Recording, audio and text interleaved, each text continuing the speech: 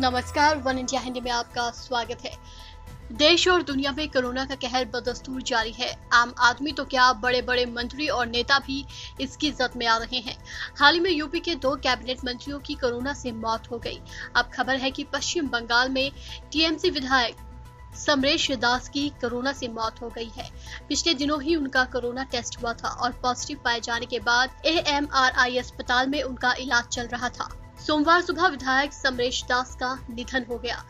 सतहत्तर साल के समरेश दास पूर्वी मिदनापुर के एगरा से विधायक थे। मुख्यमंत्री ममता बनर्जी ने विधायक की मौत पर शोक व्यक्त किया है।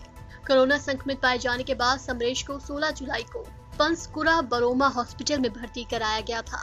यहाँ पर जब उनकी तबीयत खराब होने लगी तो उन्हें कोलकाता के कोविड 19 हॉस्पिटल साल्ट लेक में ले जाया गया। वो काफ़ी समय से वेंटिलेटर पर थे। रिपोर्ट के मुताबिक, समरेश दास के परिवार के और भी सदस्य कोरोना से संक्रमित हुए थे। हालाँकि कुछ समय बाद इनकी रिपोर्ट नेगेटिव आ गई। टीएमसी विधायक की सोमवार सुबह सवा चार बजे मौत हुई।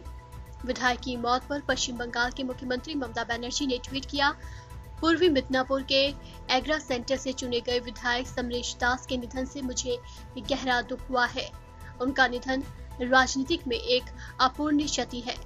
उनके करीबी रिश्तेदार और प्रशंसकों के प्रति मेरी हार्दिक संवेदनाएँ समरेश दास के निधन के साथ ही बंगाल में कोरोना से किसी टीएमसी विधायक की यह दूसरी मौत है।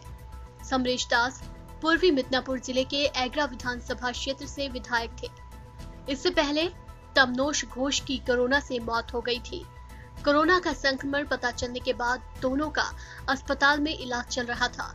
घोष दक्षिण चौबीस परगना ज़िले के फाल्टा विधानसभा सीट से विधायक थे। बता दें कि पश्चिम बंगाल में कोरोना के एक लाख से ज़्यादा मामलों की पुष्टि हो चुकी है। हालाँकि रिकवरी रेट भी तेज़ी से बढ़ रहा है। मृतकों की संख्या 2200 से ज़्यादा दर्ज की गई है। इस खबर में फ़िलहाल इतना ही। तमाम अपडेट्स के लिए बने रहिए वन इंडिया के साथ।